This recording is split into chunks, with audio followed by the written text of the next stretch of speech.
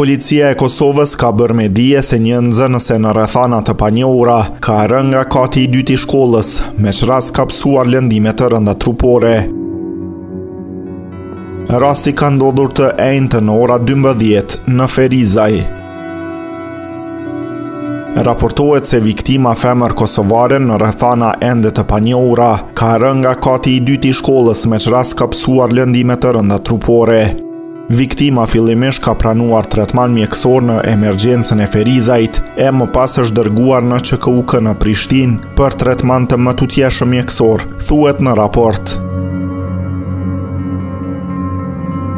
Në lidhje me rastin është konsultuar prokurori i shtetit, ndërsa rasti është në procedurë hetimore.